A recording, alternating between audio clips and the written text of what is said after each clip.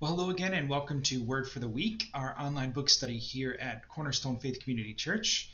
My name is Jeremy Heikem, and I'm so glad to be with you uh, as we are looking at uh, this book, uh, The Prayer of Agur by Jay Payleitner. Uh, we are in chapter 2 uh, today, which he has titled Utterance from a Collector. Um, on the very first page there, he has printed uh, Proverbs chapter 30, verses 1 through 3. I want to read that for you. It says, uh, The sayings of Agur, son of Jakeh, an inspired utterance. This man's utterance to Ithiel I am weary, God, but I can prevail. Surely I am only a brute, not a man. I do not have human understanding. I have not learned wisdom, nor have I attained the knowledge of the Holy One. As we read this, um, it might seem confusing. You know, what does he mean by uh, an, un, an inspired utterance. Um, I think we can suggest that um, obviously Agur must have been um, uh, sitting uh, in conversation with the Lord um, and he, at the very least felt an inspiration from the Lord about writing this.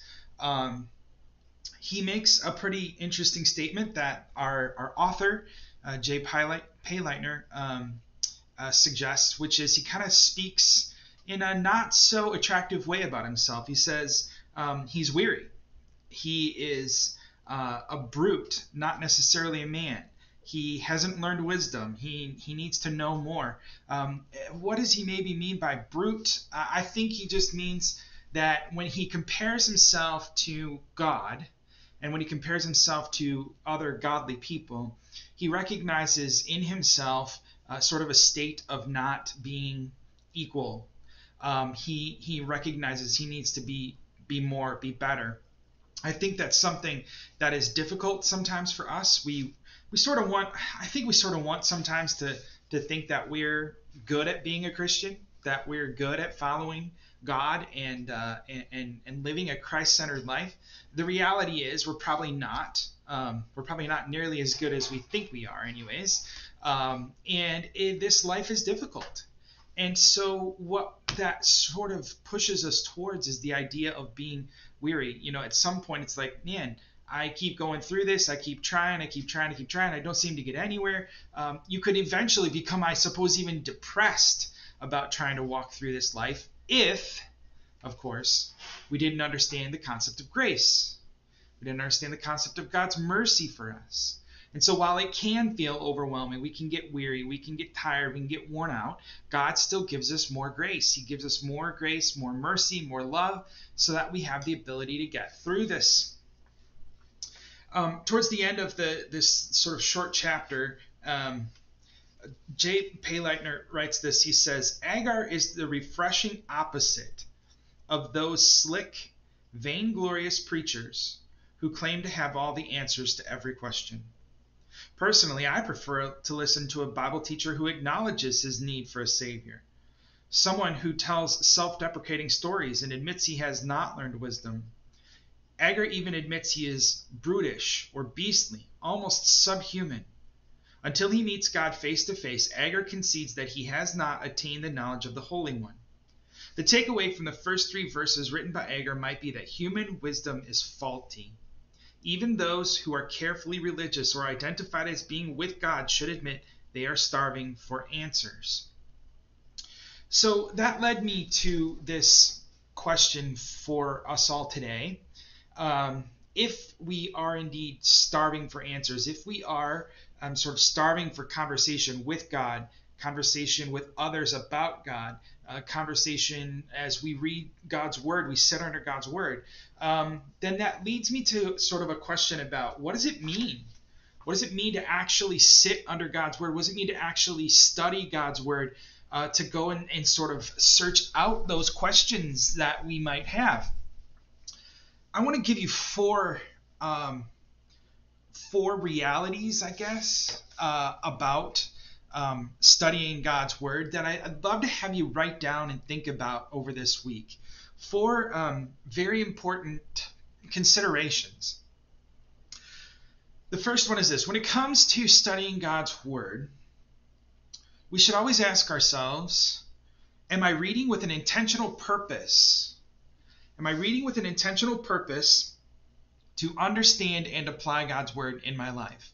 So when I go to read God's word, am I doing this out of a sense of obligation? Am I doing this because, um, you know, I hope that God will uh, sort of look down and smile on me because He sees me reading His reading the Bible, um, or do I go there with some sort of intentional purpose of uh, learning more, discerning better who our God is, what He has done for us? Um, do I go there with an intentional purpose of maybe answering a question that I have?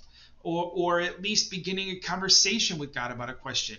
Uh, do I go to His Word to get deeper into conversation with Him? So, so the sort of first thing as we study God's Word is we really should ask ourselves, what's my purpose as I'm doing this today? What what is do I hope to learn something? If I do, what do I intend to learn? Um, what is our what is our intentional purpose to both understand and then rightly to apply that to our lives? Sort of a second thing that we should probably consider, or we should definitely consider, as we go before God and as we are um, in His Word together. Um, we need to actually sit under that word. So when we come to the word initially, we might come uh, with a purpose. Uh, let's say, hypothetically, that our, our purpose is to answer uh, a question about um, God's provision. Okay? And so uh, as we as we have this question about how God provides for us, uh, we, we sort of led to Psalm 23. And we recognize that He leads us uh, by still waters. He He restores our soul. He fills our cup to overflowing. Um, he gives us goodness and mercy. Okay, so we've read that. We, we went looking for an answer to our question. We've read Psalm 23. Now what do we do? We sit under it. And, and what does it mean to sit under the word? Um, I actually had a Bible teacher one time tell me that um, to think of sitting under the Word this way: that you've read, you've read the, the, the Bible, and pretend this book is the Bible for a second, but you've read you've read what you're going to read, right? Now now take the Bible and just put it like this on your head, right? Pretend that you could walk around with the Bible like this on your head all day long. Now, the idea isn't that somehow by osmosis God's word is going to filter into your brain by walking around with the Bible on your head all day long. His point was this you'll be reminded constantly, right, that God's word is before you, that it's above you. And so as you've read something, you put that thing over you, you sit under it, and you let it make this impact on your life. Um, you let it uh, inform how you make decisions. It, it, you let it inform what you say, uh, what you think, uh, what you do. And uh, by by sort of thinking of the Bible placed on top of your head like this, you can't forget it, right? You're not going to forget if you're walking around with a book uh, open on the top of your head, and you're not going to forget God's word. And so we we sit under it, we let it sort of uh, seep into all that we are doing. Another word that's been used here uh, is the idea of rumination or ruminate, to ruminate on God's word. Ruminate literally is sort of a, a an idea, it means to chew on. Um, and so if you think about like a, a cow and how it will put grass in its mouth and it'll just chew, chew, chew, chew. Um, you know, the purpose of cows ruminating on grass, chewing grass, isn't because the grass necessarily has a lot of nutritional value for, for them, but what the, the chewing process does because they have like these four chambers of their stomach and their food is uh, digested so much differently than ours. Um, that chewing process actually is the di- is is helping them to digest the food uh, of the grain uh, or, or, you know whatever they've the corn whatever they've uh, already eaten. So um, the idea of ruminating, chewing on it, getting the all of the maximum nutritional value out of what has come into us. Uh, so we need to read with an intentional purpose to understand and apply, but we also have to go with a purpose to sit under it, to let it ruminate over us, let it sort of seep into our lives. The third thing that I would suggest we do when we study God's Word, when we're going looking for answers, when we're going looking for deeper conversation, is that we would ask questions. Um, and ask them with a, an intentional purpose again to, to gain clarity. Uh, not so much to criticize, not so much to doubt, but to gain clarity. Ask good questions of God. So as you're reading through His Word and you come across something and you know, I don't even begin to understand that. And that's a great time to sort of just stop right there and go to God and say, okay, here I am in your word, and I've come across this thing, and I'm, I'm having some difficulty understanding it. Can you help me to understand it? Now, that doesn't mean he's going to necessarily just speak to you something immediate in that moment, and all of a sudden you go, oh, great, thanks. Maybe that is what will happen. He may lead you to another brother or sister who can can give you clarity on that. He may lead you to a book. He may lead you to another place in Scripture. You know, we often say that Scripture ought to interpret Scripture, right? Uh, he may lead you to another place in the Bible for an answer. Um, but let him lead you. Go with a question and let him lead you to that place. Um, so when you come across things you don't quite understand, it's okay. Then then ask God to help you find the answer. The fourth thing that I would say when we come to study the Word of God is that we can't forget the action part of it, right? At the beginning, we said we come with a purpose to carefully understand and apply it.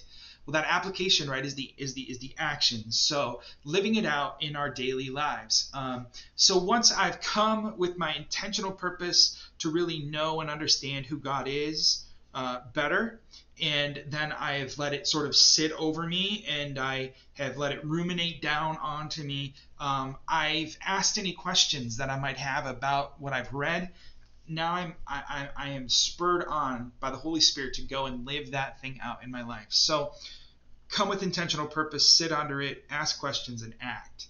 Um, I think that is critical for us because otherwise, I think we will be in that same place as Agur. We'll just sort of feel weary We'll feel feel like we have no value. We'll feel like our life has no value. Why are we doing what we're doing?